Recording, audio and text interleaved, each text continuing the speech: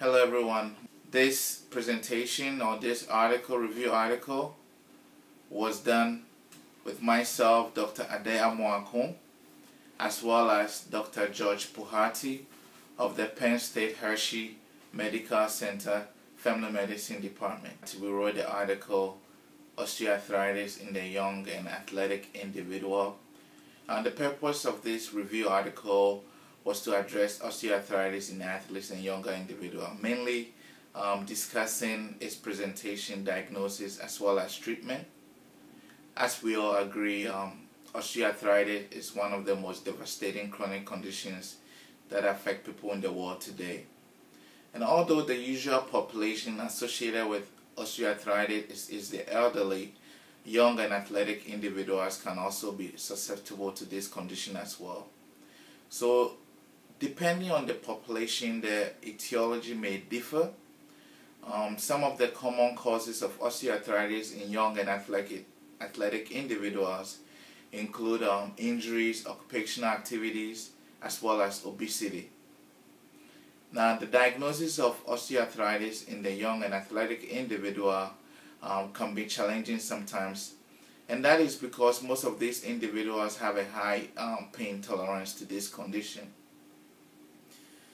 But there is no single, as we all may agree, test or maneuver for diagnosis of um, osteoarthritis.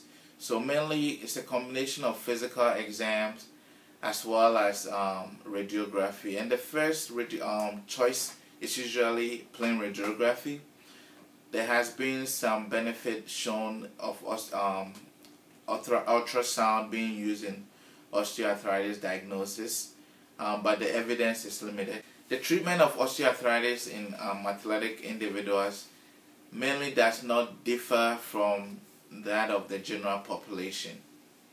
The main goal of treatment of in osteoarthritis is to minimize pain and improve functionality.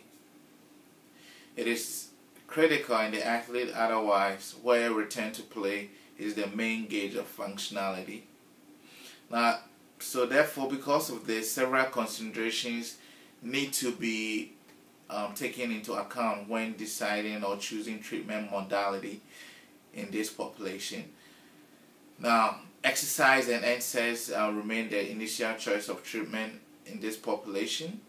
Other treatment modalities include um, intraarticular injections with um, steroids as well as hy hyaluronic acid and then finally surgery.